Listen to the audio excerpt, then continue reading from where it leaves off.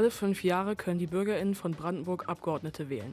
Die gewählten Abgeordneten kommen dann in den Landtag. Bei sogenannten Plenarsitzungen sitzen sie in einem Plenarsaal. Dort beschließen sie Gesetze und entscheiden, wofür in Brandenburg Geld ausgegeben wird. Zum Beispiel für Dinge wie Schulen, Straßen oder die Polizei. Eigentlich wie im Bundestag. Da gibt es einen großen Unterschied. Der Landtag macht nur Gesetze, die für ein bestimmtes Bundesland wichtig sind. Der in Potsdam ist für das Bundesland Brandenburg zuständig. Professor Dr. Ulrike Liedke spielt dort als Landtagspräsidentin eine wichtige Rolle. Im heutigen Digger-Magazin erklären wir euch alles Wichtige um den Brandenburger Landtag. Dafür führen wir ein Gespräch mit der Landtagspräsidentin und schauen uns ein wenig im Landtag um. Wir wissen schon, der Landtag ist das Parlament von Brandenburg. Aber was macht der Landtag eigentlich? Was macht der Landtag?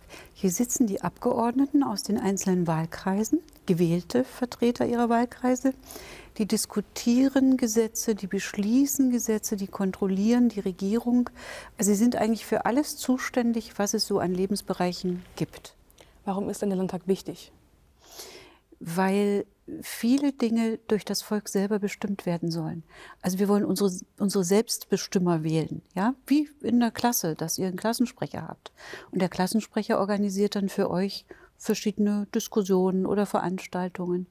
Und so ist das hier auch, dass man sich seine Vertreter aus dem Volk wählt und die dann bestimmen, wie man miteinander umgeht. Nicht ein einzelner Herrscher, nicht jemand, der von oben sagt, so wird's gemacht. Und wo liegt da der Unterschied zum Bundestag?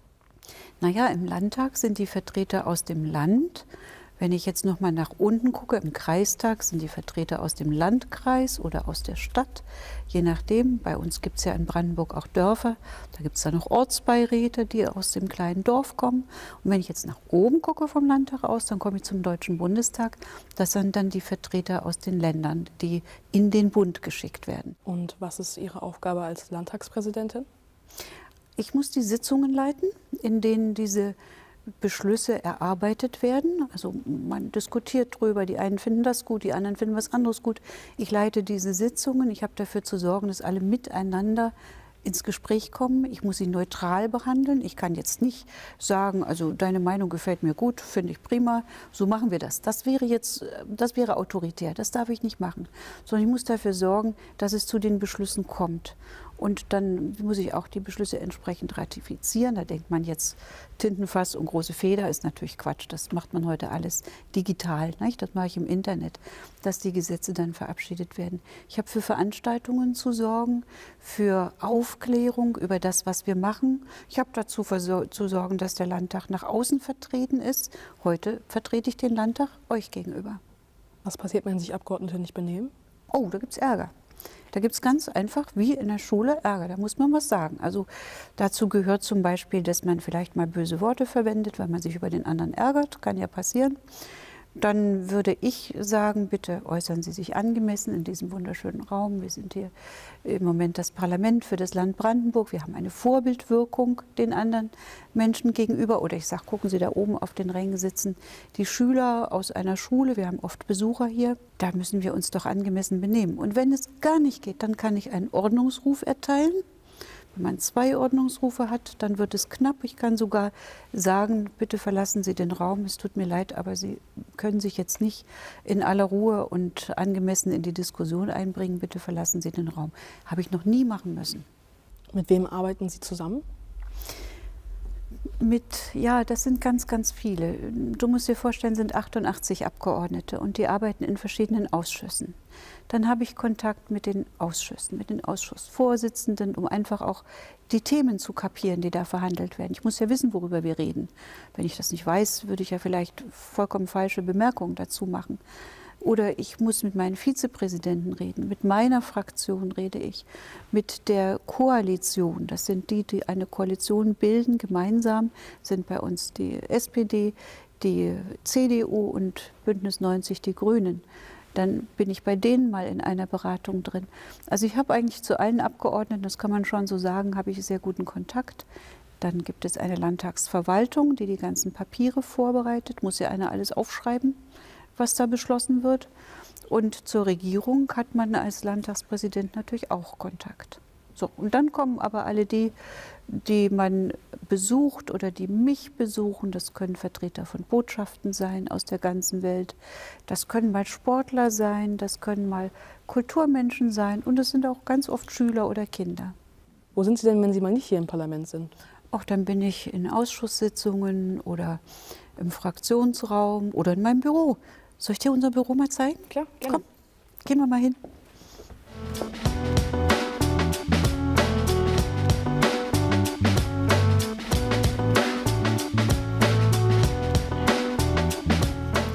Warum wollten Sie denn hier in das Amt? Ich, also das Amt wollte ich nicht, ich wollte ins Parlament. Ich wollte Abgeordnete werden, weil ich mich so fürchterlich aufgeregt habe über viele Dinge.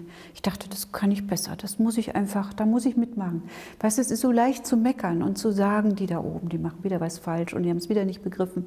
Aber der, der zweite Schritt, dass man selber aktiv wird, den müsste man ja dann eigentlich auch gehen.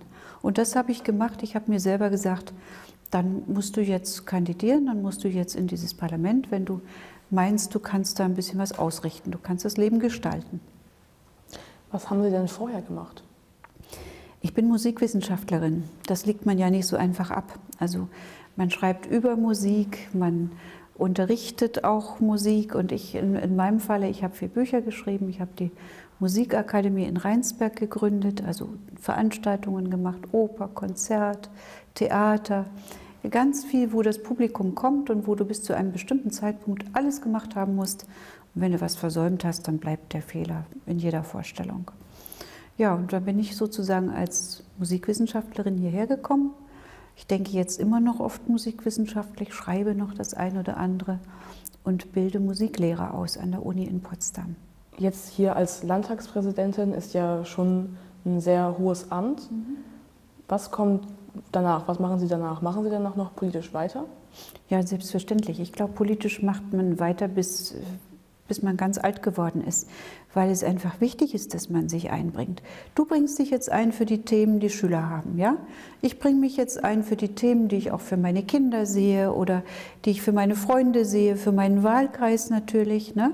Und wenn man dann älter wird, setzt man sich wieder für die Themen ein, die dann die älteren Menschen beschäftigen. Ich finde es ganz wichtig, dass alle Generationen vertreten sind.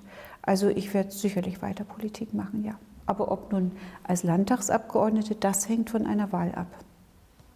Danke an Frau Liedke. Wir hören später nochmal von ihr.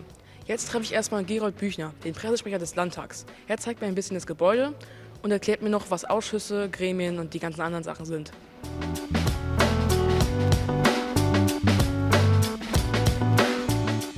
Wer arbeitet eigentlich noch so hier im Landtag? Sehr viele. Also zum einen natürlich die 88 Abgeordneten selber, wenn Sitzungen sind, ob in den Ausschüssen, in den anderen Gremien oder im äh, Plenarsaal auch. Und ähm, dann besteht die Landtagsverwaltung aus über 150 Mitarbeitern, die unterstützen das Parlament, die Abgeordneten bei ihrer Arbeit.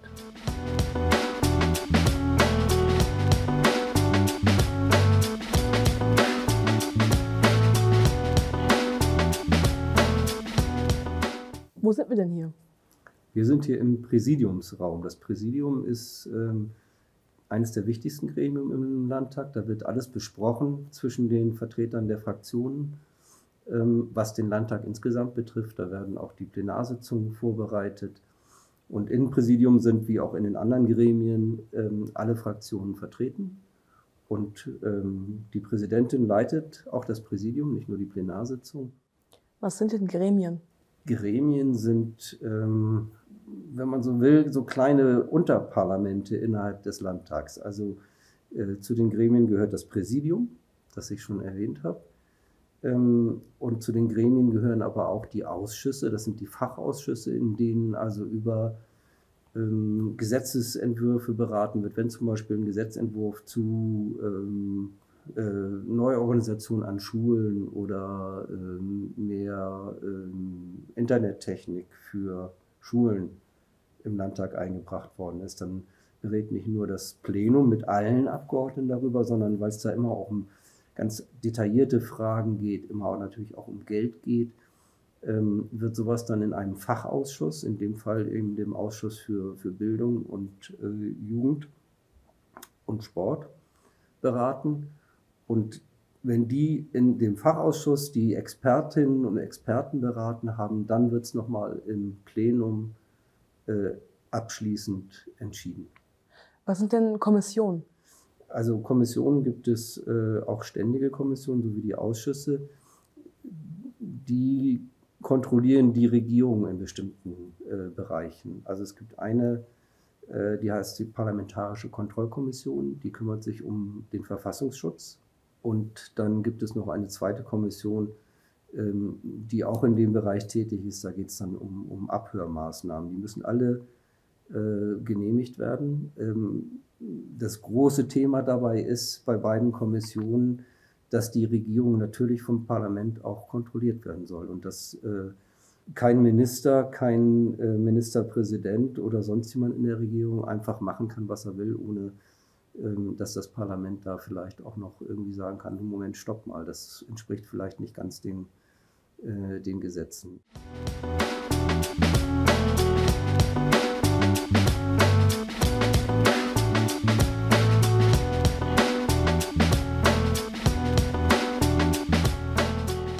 Sitzen eigentlich noch andere Leute außer die Abgeordneten?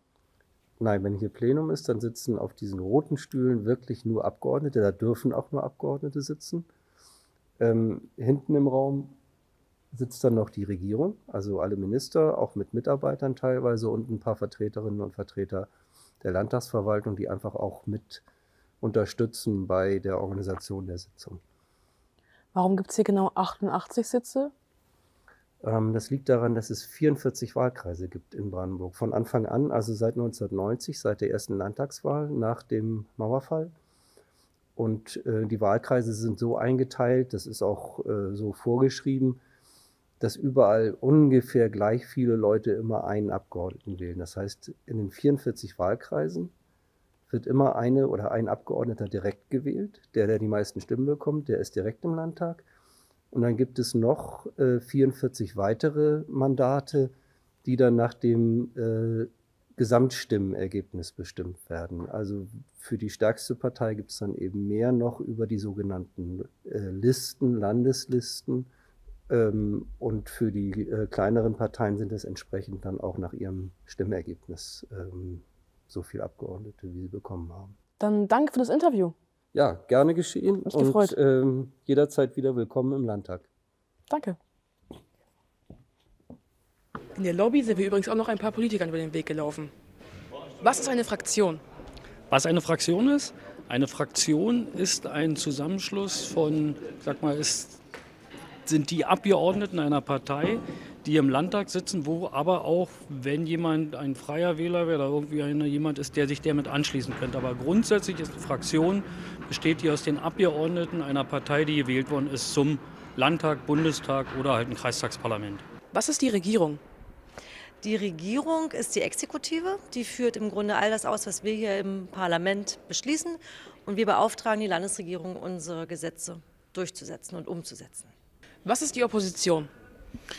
Wir sind als Opposition diejenigen, die nicht an der Regierung beteiligt sind. Das bedeutet, wir kontrollieren äh, die Regierung genau, kritisieren die Regierung äh, und schauen genau nach, äh, wo gibt es Fehlstellen, wo gibt es Probleme, die die Regierung so nicht erkennt. Und wir gucken auch mal genau hin, wenn die Regierung besonders positive Sachen immer verkauft oder so tut, als ob die besonders positiv sind, dass wir da nochmal genauer hinschauen und auf Probleme aufmerksam machen, ähm, äh, die die Regierung vielleicht nicht sieht. Das ist unsere Aufgabe. Vertreten Sie Ihre eigene Meinung oder die Ihrer Fraktion? Ich vertrete in der Fraktion meine eigene Meinung, aber wenn man sich in der Fraktion auf etwas geeinigt hat, auf eine Mehrheit, das ist ja Demokratie, dann vertrete ich natürlich die Position, auf die wir uns verständigt haben. Es ist Teamarbeit. Also ich gehöre zu den Abgeordneten, der auch mal seine eigene Meinung vertritt. Es gibt natürlich immer Sachen, wo man sich in der Fraktion abstimmt und natürlich versucht dann, das äh, äh sozusagen rüberzubringen. Aber wir haben ja einen Meinungsbildungsprozess, also wir unterhalten uns im Vorfeld der in den Fraktionssitzungen, wo dann geklärt wird, wie ist unsere Stellungnahme zu einem Gesetz oder irgendeinem Beschluss. Wofür setzen Sie sich ein? Für ganz viele Sachen, aber vielleicht ganz grundsätzlich äh, uns als Linke, als Linke in der Opposition geht es darum, dass bei allen positiven Überschriften, zum Beispiel die, der Tesla-Ansiedlung oder auch, dass die Wirtschaft äh, stärker geworden ist in den letzten Jahren und so weiter, Gewinnerland Brandenburg, wie die Regierung ja immer sagt, dass wir immer darauf achten, naja, äh, von Überschriften allein kannst du keine Rechnung bezahlen, kannst du deine Miete nicht bezahlen, sondern dass wir darauf achten, dass es auch sozial gerecht in diesem Land zugeht, dass egal wo du wohnst, egal wo du herkommst, egal wie viel Geld du im Portemonnaie hast, dass du ein sicheres Leben hast und dass überall im Land Brandenburg du ein gutes Leben hast. Was finden Sie in Politik spannend? Alles. Man kann ja im Grunde über alles debattieren und bestimmen, wie es in Zukunft mit diesem Land weitergehen soll für die Menschen, die hier leben. Und von daher finde ich es von Anfang bis Ende spannend. Oh, Politik ist sehr spannend. Ich bin ja, äh, Politik war eigentlich mal mein Hobby. Jetzt mache ich es äh, äh, ja, vollberuflich mit. Politik ist sehr spannend. Man kann gestalten, man kann aber auch in der Opposition, was ich auch kenne, auch einiges bewegen. Also man kann dann schon die Regierung dorthin bringen, dass sie sich mit Sachen beschäftigt oder vielleicht auch Beschlüsse fasst, die für die Menschen draußen im Land wichtig sind. Ganz, ganz viel. Ähm, was ich tatsächlich spannend finde, ist, dass man sehr, sehr viele unterschiedliche Menschen kennenlernt, dass man dass man auch äh, viel mit sehr, sehr vielen unterschiedlichen Themen täglich eigentlich zu tun hat. Also heute Morgen haben wir zum Beispiel auch über den Karneval gesprochen und jetzt gerade reden wir über Bildungspolitik. Also da gibt es einfach viele Themen, mit denen man sich auseinandersetzen muss, auseinandersetzen kann. Am spannendsten finde ich aber, wenn man etwas selbst bewegen kann. Das ist jetzt in Opposition nicht so viel wie zum Beispiel in der Regierung, wenn ihr mit Regierungsabgeordneten reden würdet. Aber hier sind so auch die kleinen Dinge, ähm, die ich wichtig finde, dass man, auch wenn es langsam vorangeht, aber dass man doch Dinge voranbringt.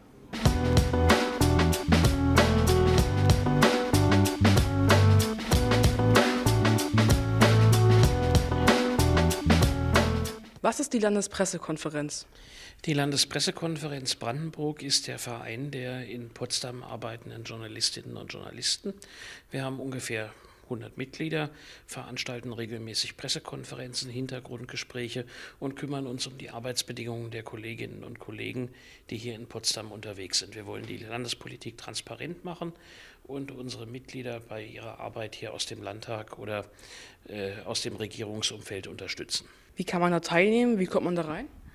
Mitglieder der Landespressekonferenz können alle Journalistinnen und Journalisten werden, die hauptberuflich über Landespolitik oder Dinge von landesweitem Interesse in Brandenburg berichten.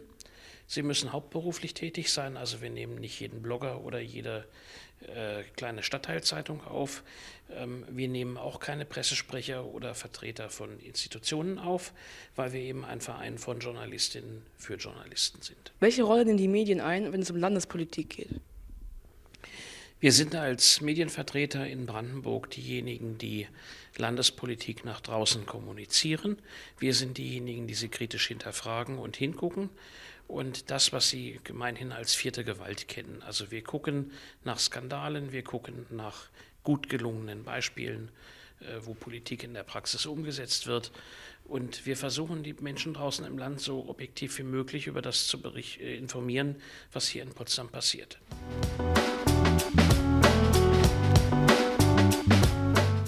Um als Abgeordneter in den Landtag zu kommen, muss man mindestens 18 Jahre alt sein. Die jüngste Abgeordnete ist 20 Jahre alt. Die Politik betrifft aber auch Kinder und Jugendliche. Was man in der Politik tun kann und wie man sich beteiligen kann, wenn man noch nicht wählen kann, das habe ich die Landtagspräsidentin gefragt.